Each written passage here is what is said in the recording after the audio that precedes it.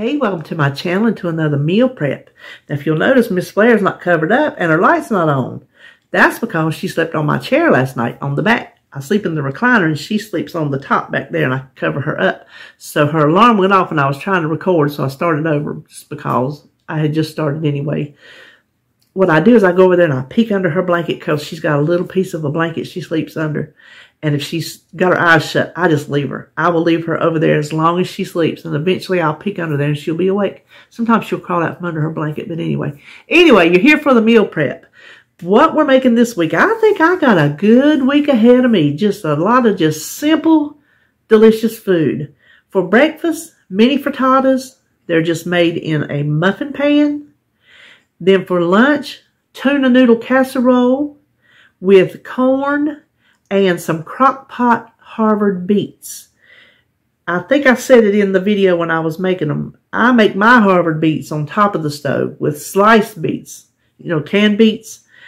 These are made in the crock pot with whole beets. Oh my gosh. They're delicious. I, I, I was skeptical. Did not know how it was going to work. Worked beautifully. And then for snack, apple spice oatmeal muffins. And I think I said in my, I'm pretty sure I did say in my meal plan that I couldn't think of, oops, I'm sorry. I couldn't think of things to make. With the exception of the beets being new, these are other recipes that I, I have a notebook where I keep my prep. I, I make a little Word document of what I prepped that week. And I've been doing it for over a year. Before I wish I had them all before that, but when I thought about it, it was like over a year ago. So I was flipping back through that book, trying to get some inspiration. And the, the frittatas and the tuna casserole and the, the muffins, they were all in there. And I thought, oh, well, I forgot about y'all. I like y'all. Let's make y'all. so that's what we got this week. Now, let's just turn around and get started cooking all that good food. To make the frittatas, spray a 12 cup muffin pan and I've already chopped up my ingredients. You need about a quarter of a bell pepper. These are just some of the little pepper strips that I bought that I still have not eaten all of them. So I just estimated this is a quarter of a green pepper. Quarter cup of chopped onions and a third cup of chopped mushrooms. I didn't buy a whole pack of mushrooms because I wasn't going to be eating them. I was going to be eating these frittatas. So I'm just using canned mushrooms. You can use whichever one you like. And then three ounces of shredded cheese, any cheese you want to use. Now all we need to do is just go through and add our vegetables to each little cup. You can see I don't use I don't use as many green pepper well they're not green peppers but peppers as I do onions because onions is my favorite and peppers is not. Peppers are not, whatever. So we, we're going to do that with all the vegetables. Then we want to add the cheese. So if you can see over here on the side, I have already beaten up 12 eggs. I, I beat them up really, really good.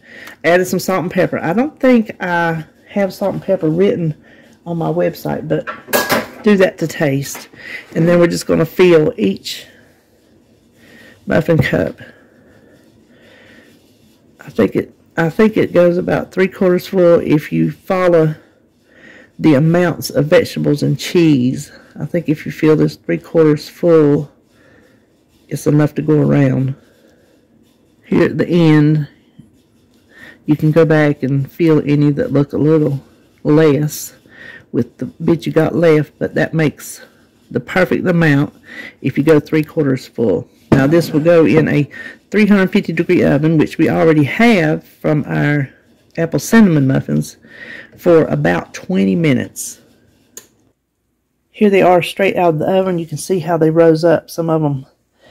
And that's a good reason why you don't want it really any more than three quarters full because, well, you can see how sideways they go. They'll taste the same, but I just wanted to show them to you straight out of the oven. 20 minutes. For the Harvard Beets, this is a Joanna Lund recipe. I'm switching it up just a little bit. She calls for a couple things that I don't normally put in my Harvard Beets.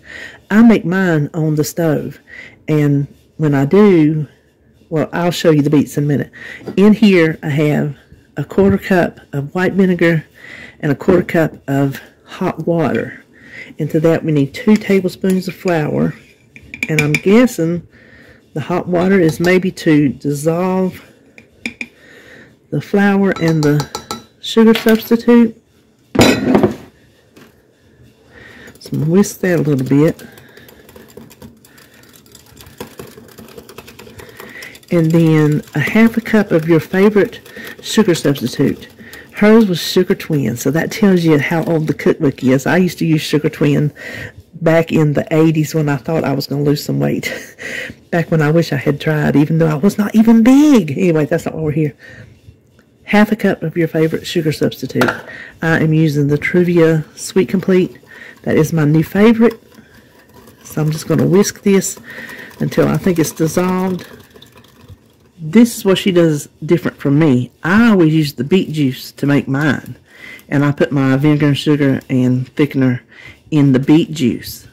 She says rinse and drain these two cans of whole beets. So I'm doing it like she said. I rinsed them and drained them.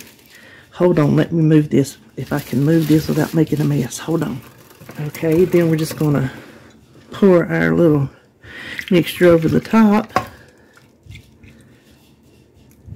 I honestly didn't think it's going to be enough to cut them. I'm using my small crock pot, so I think that's probably helping. So let me see if I can maybe get those down in there. And then we're just going to cover this and cook it on low six to eight hours. What I'll probably do is I'll probably come in every little bit and give it a stir just to make sure they're all coated. So six to eight hours, I'll see you. All right, this is after seven hours. I know it is kind of like not completely thick, but normally when things like this set up and get cool, they will thicken on their own. So I'm going to stop it here because I think it looks um, pretty good to me. To start our tuna noodle casserole, we want to make the cream soup. This is my homemade cream soup. Start with one and a quarter cups of water, half a cup of the mix, stir it to blend it, and then we're just going to cook it until it's thick. Now let me stir this and I'm going to show you a little trick that helps me. I used to make this back when the kids were little and I was trying to save all the money and do all the things. This is one of all the things I used to do. It's very handy to have on hand. Plus, you know what's in it. And the recipe is on my website. Now, we would just let this cook, like I said, until it's thickened. But I want to show you. I keep it in a, a jar. You can see I'm just about out. This is my little trick on the inside of the jar, I write how much mix and how much water because my memory is shot. So I don't have to pull up the recipe. I know how to cook it. I just have how much it, it takes to make it inside the lid. So I thought I would just share that little tidbit with you. So I'm just going to let this cook. While this is cooking, I have my water starting to come up to the boil to do our noodles. But we want to go ahead and get this started. The soup is ready. Now, I want you to know there won't be any lumps in yours if you watch it while you're cooking it.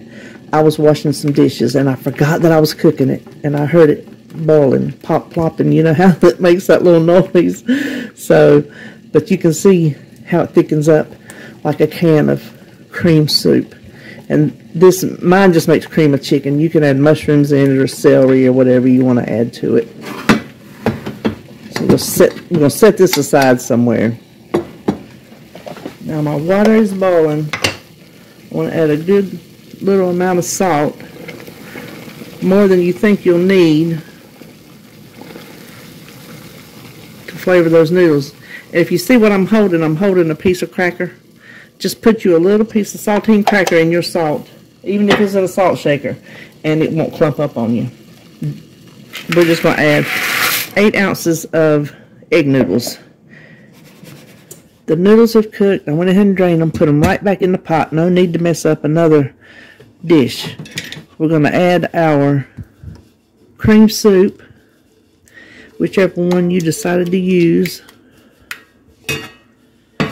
Mix this in a little bit. Now it may come at the end, we need to add a little milk. I might have should have made a second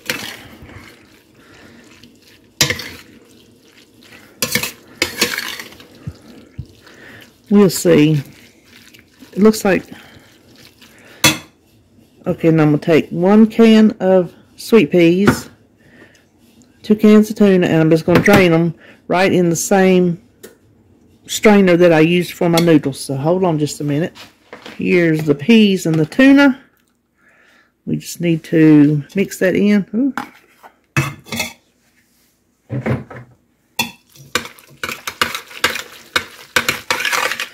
You can add more salt if you want to. I'm going to tell you what I'm going to do. Hold on just a minute.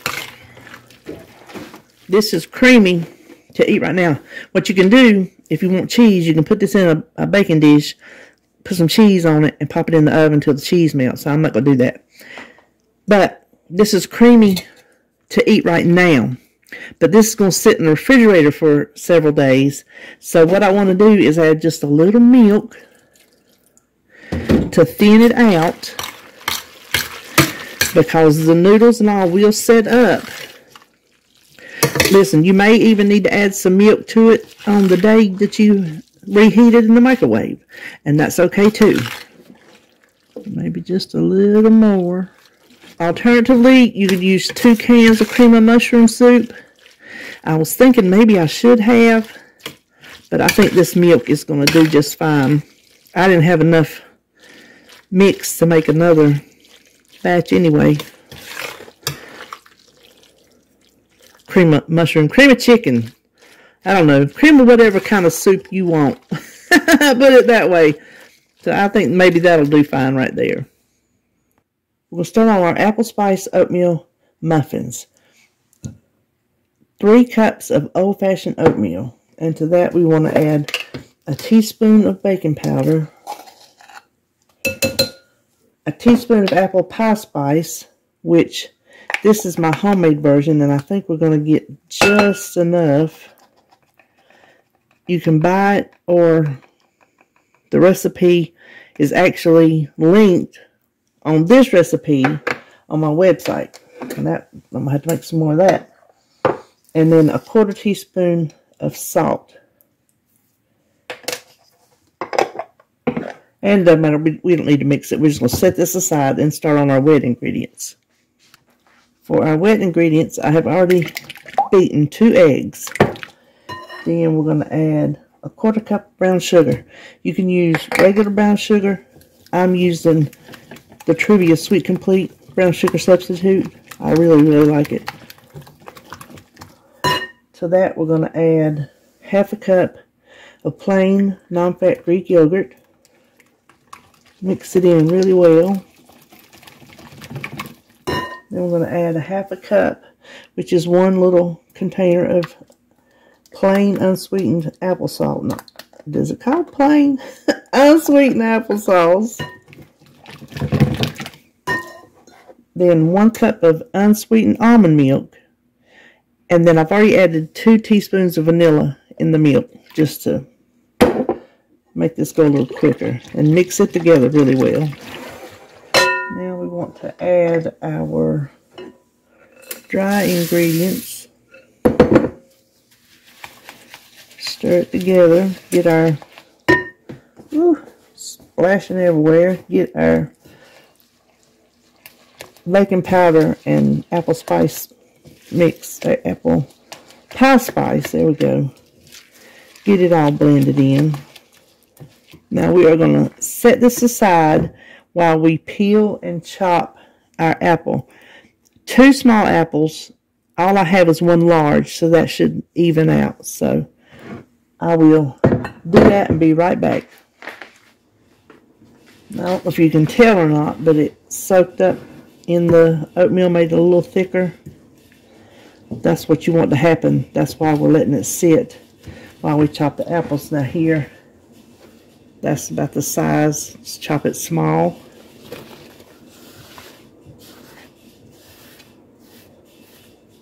Then we just need to stir these in.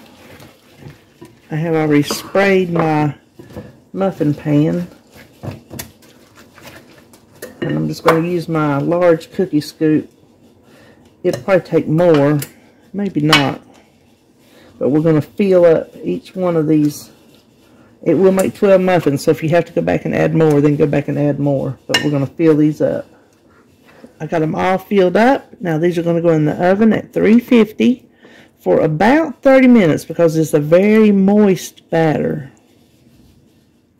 The muffins are done. They went a half hour. You can see they got a little spring in their step, so we're just going to let them hang out in here probably about five minutes before we turn them out onto a piece of wax paper. Well, I did my thing again where I was talking and did not have the camera on. I divided the casserole out. I got four. I was not sure with these containers. These are the ones you can't see it. This says two cups under there. One cup, one cup. I was not sure after you add everything into the casserole. I planned for two ounces per serving, so that'd be four servings. But once you get everything in, and these were new containers, wasn't sure how far they go, but that shows you it's a good two cups, four servings. So there you go. Now I'm going to take these over to the crock pot and add my beets. I was able to get four beets per serving, and that left two for Cook's Treat. Cannot wait to eat them. These are delicious. If you like Harvard beets, oh my word. Harvard beets, just thickened up sweet and sour beets. That's all there is to it. Fancy name. And then I just cooked some corn in the microwave with just a dab of butter.